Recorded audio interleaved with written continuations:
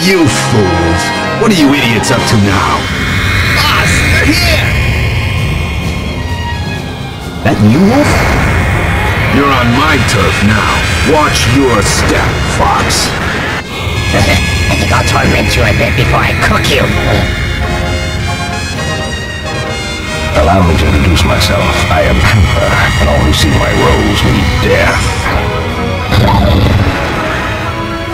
We're just here for Pigma, okay? Shut your traps and hand him over. Pigma? Don't know anything about Pigma.